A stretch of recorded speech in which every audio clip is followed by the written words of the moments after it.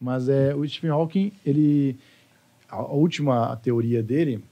Que é isso? Tá, o Deco tá no Tokstok comprando os móveis não, pra... ué, tu- tu Pô, eu tô seguindo o teu roteiro. Ainda não, ainda não, cara. Não, mas não tá na tela, só tá em você a câmera. Não, ah, não tá. ninguém. Você espera a minha deixa, cara.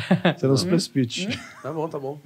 Não, porque nós vamos falar de universo paralelo, porque é, o último estudo Ah, dele foi sobre crer. isso. E, e é impressionante que é, a gente falou com gente de várias religiões diferentes e, de alguma forma, tudo meio que encaixa, assim.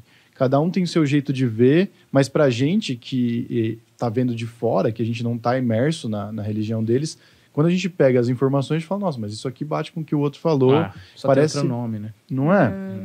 Eu queria saber o que, que você sente em relação a vidas passadas. E, bom, vou fazer essa primeira pergunta, depois eu, eu, eu explico Uhum. por quê.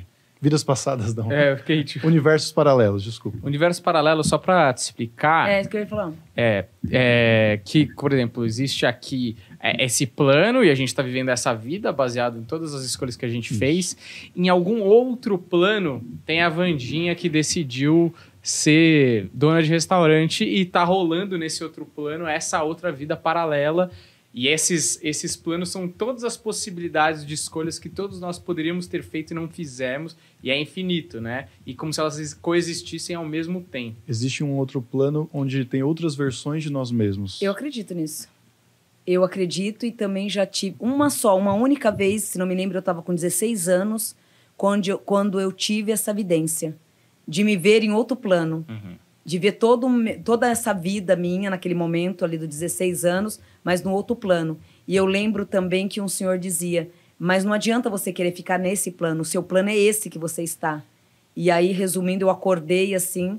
E, e, enfim, eu acredito muito nesses dois planos, nesses dois mundos, nesse Sim, universo paralelo. Nesses universos paralelos, né? Eu acredito muito. E nesses universos paralelos, você sente que a gente realmente está lá com a mesma idade, somos a mesma pessoa, mas fazemos escolhas diferentes? É Diferente. isso? Uhum. Eu creio muito na espiritualidade nesse ponto, nesse caminho. Eu não debato ele muito porque tem muita gente que, ah, que absurdo, tá ficando louca, nossa, é surreal. Então tem muitas coisas que eu acabo guardando para mim. Mas eu já fiz muitas vistorias que eu me calo, né? Essa é uma delas, porém tive só uma aos 16 anos de idade, foi a única vez que eu tive e fi- ficou para mim. Assim como também eu tive uma outra, que depois eu, eu cito ela. Mas eu já tive vários reencontros Uhum. Reencontros com quem? no nível espiritual. Dessa Com você forma. mesmo? Comigo mesma. Em, em uma em outra realidade. Aham. Mas assim, não em outra vida, nessa, Nessa vida. com outras decisões que você tinha feito. Isso, outras decisões. Mas se você fala, a nossa religião já é, nem todo mundo aceita, Uhum. né? Então, se você de repente começar a falar isso, nossa, a Wanda tá ficando doida, a Wanda tá surtando.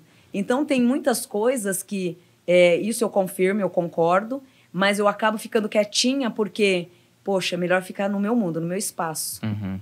É, né? Então. E só- deixa eu só te perguntar, quando você se reencontrou, você falou o quê? Pra você Você chegou a conversar, não? Sim, eu não só conversei, eu lembro como se fosse hoje. Aí eu me debati muito com esse senhor. Eu falei, não, mas é essa que eu quero, essa vida aqui que eu quero. Ele, não, mas você escolheu essa.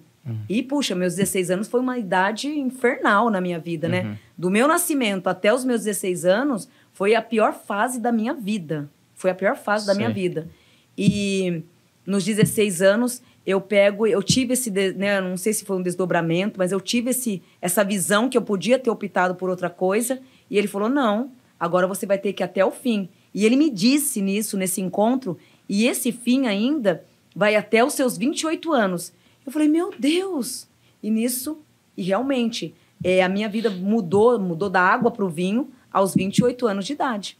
Porém, essa outra Wanda que estava aqui, ela estava vivendo uma vida maravilhosa. Uma vida que não tinha ninguém para impregnar, para julgar, para aquelas coisas todas. Era um outro padrão, mas um outro padrão literalmente de vida. E isso é muito forte dentro de mim, porque se você for ver tudo, se vocês forem me conhecer agora pessoalmente mesmo, vocês vão ver o meu dia a dia. Eu sou muito ligado às coisas antigas, é, tudo, tudo relacionado a coisas antigas, império.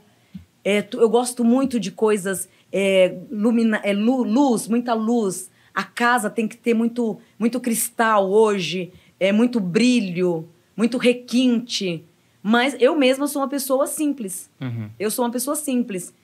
Eu sei que eu te- eu tenho essa simplicidade, mas a minha alma, quando eu, a, minha, a minha mente, é como se ela buscasse coisas é, para complementar o que eu já tinha vivido. Uhum. Então eu acredito muito nesses padrões. E o pior de tudo é você entrar nesse caminho, ver uma situação é, cinco estrelas Uhum. e você tá comendo pão que diabo massa nessa. E você não poder. Eu quero voltar. Não, você fez a escolha. Então, eu creio muito que tem várias Wandas vivendo histórias diferenciadas, capítulos diferenciados. Que legal. E Isso tem alguma coisa a ver com a evolução espiritual Sim. também, desses retornos? Sim. Muita, muita, muita. Muita.